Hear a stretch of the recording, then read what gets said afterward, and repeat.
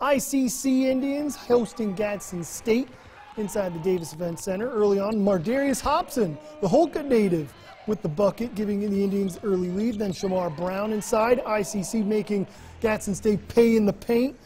Indians surge back ahead. Mob Hobson inside. Good man take for the post. Nice post move there from Mardarius. Then Choctaw County's Akeem Kirkwood. Nice dish inside. Akeem finishes for two.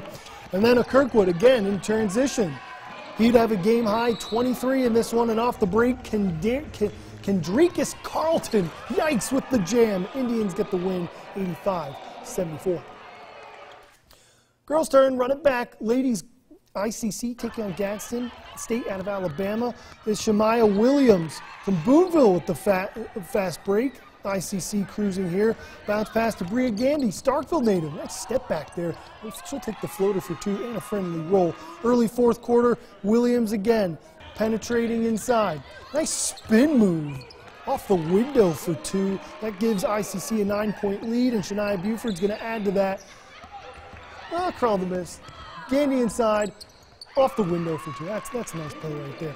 Indians, they get the win 82 to 68. And even even got a little bit of a celebration here, enjoying the big win. Oh, one more time. Here we go. There's everyone happy for wins on a Saturday.